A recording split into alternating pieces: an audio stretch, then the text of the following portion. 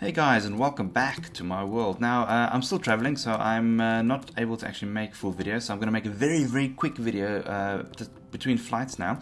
Um, I was just I saw a video by SethBling with custom sounds and I realized there is a cool way to actually use this. So what I'm going to do is I'm going to um, make it so that when a player dies it plays a custom death sound. Now at this moment, I don't have time to actually record a custom sounds myself, so I'm, I'm just going to be using the Ghast sound. So this is what it will sound like. Okay, so this is the Ghast. So this is the Ghast scream that will happen when a player dies. So first thing we want to do is we want to set up a, a, game objective to count or to see when somebody dies. So we've got scoreboard objectives, add, death, death count death. Okay, so this is going to be our, our objective. So when I, I run that, um, and that that's really I just need that one that one little thing set up. So uh, what I just want to do as well is maybe just scoreboard uh, objective set display sidebar uh, death, just so that when when I do die, so I'm going to go kill. You see on the right hand side, I now have um, I have deaths. Right, so to make this very, very straightforward and very, very simple, I'm just going to use this clock over here. Okay, and I'm going to take a signal out of this clock. So what this clock is going to do is constantly test. Actually, you know what? I've already got this off set up here. Now let's just do it this way. Right? It's going to constantly test if somebody has a death score of 1. Okay, so what are we going to do? And then if somebody does have a death score of 1, we are then going to play the sound. Okay, so um, uh, it is play sound. So this is the new command, play sound, and then you need to you need to then put the path to the sound, which is uh, mob dot ghast dot scream, and then you just say add player. So let me just see if this is done correctly. Yep.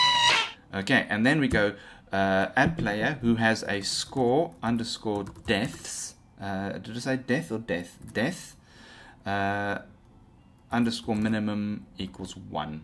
Okay. So now you will hear that scream every single time um, somebody has a score of 1, a death score of 1. So I'm going to add another uh, comparator over here. So just, that's going to drive us mad. So I'm going to put another comparator over here, and I'm just then going to say scoreboard uh, scoreboard play uh, players set at p score underscore deaths uh, underscore minimum equals one uh, death uh, zero okay so basically what I am doing is I'm checking to see if anybody has one death and if they do have one death it will then be set to zero, which will then in effect stop this clock. So let me just see if I did actually call this death. Yeah, death. Okay, so basically if I do this now, let me just remove that one over there. If when I hit this, replace this uh, comparator, it should set my deaths to zero, which it has. And when I put this comparator in here, that's it. Nothing happens. And that is it. That is how quickly and easily that is. So basically, if I now die, Okay, listen to this. If I kill myself, okay, you'll hear the sound played, and then if the sound doesn't play again. So uh, let me just do that again. That's actually quite fun. That's it. All right, so to find where this path is, and at the moment it's a bit wishy-washy. I've not been able to actually record or had time to record a sound, but it, if you go into your uh, Minecraft uh, folder, you will see there's something called assets, and under assets you will now find sound. And under sound, you will find mob, and then this is where the various uh, sounds will be. So you can use any any sound. So let's say we want to maybe use, if somebody dies, we want to make it sound like a chicken dying, uh, or like a chicken getting hurt. So it is chicken and then hurt. Okay, so chicken. So I'm going to change this now to just say, to, uh, we're going to go um, mob dot chicken. Uh, dot hurt.